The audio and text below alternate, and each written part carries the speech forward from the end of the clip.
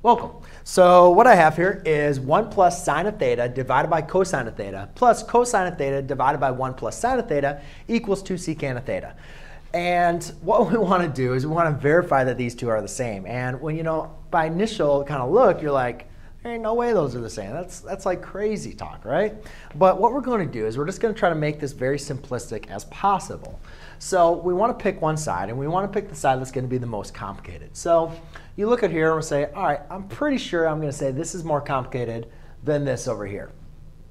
Um, then I'm going to want to use my trigonometric identities. Well, there's really not too many trigonometric identities I could use with where I'm at right now. I just have sines and cosines. So as far as trigonometric identities off the start, I really can't apply anything. Um, looking ahead, not really going to get to me right now. Converting to sines and cosines, the left side already is converted to sine, cos, sines and cosines. The one thing I could do is try to convert my cosines to secants, but then I'm still left with sines, which I need to get rid of.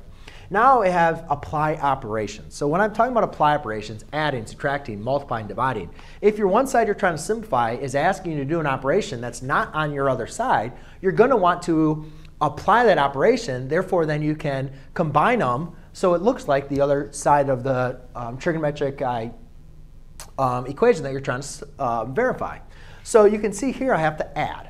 Now, by adding, that means I have to have common denominators, and that's why a lot of students don't like fractions, because it's just an added step that you have to do.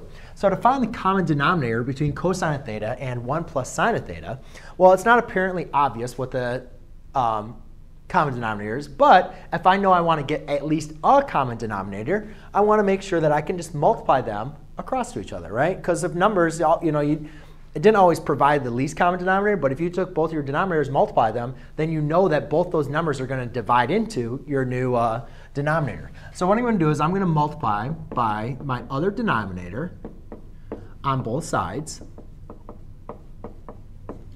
And so this one I need to multiply by the cosine of theta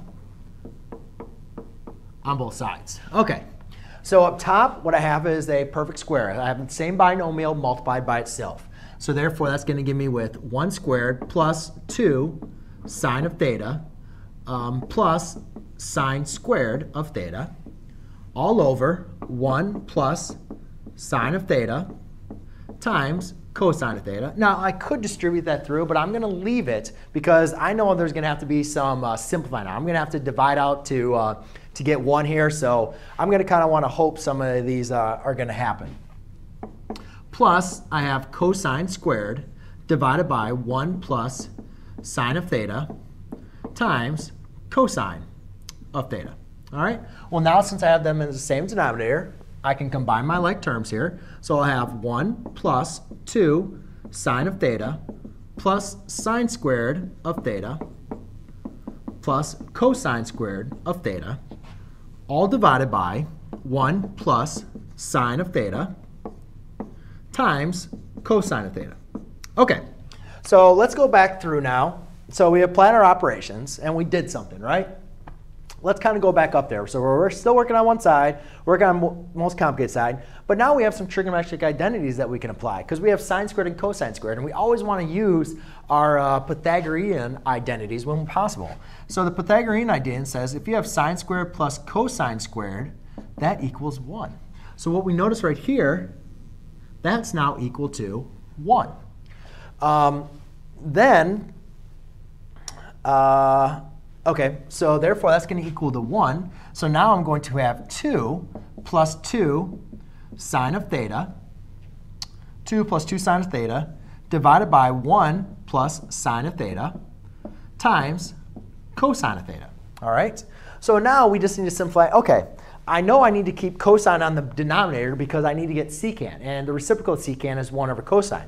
But I need to get rid of this 1 plus sine of theta. Well, if I factor out a 2, what I'm left with is 2 times 1 plus sine of theta divided by 1 plus sine of theta times cosine of theta which now these two are going to divide out to 1, leave me with 2 over cosine of theta, which can be written as 2 times secant of theta.